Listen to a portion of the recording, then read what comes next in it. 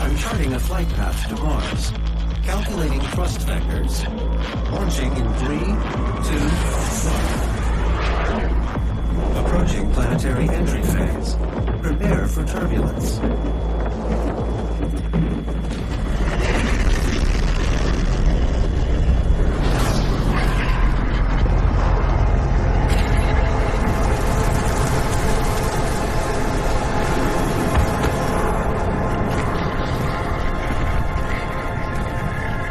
the lost city of the bell.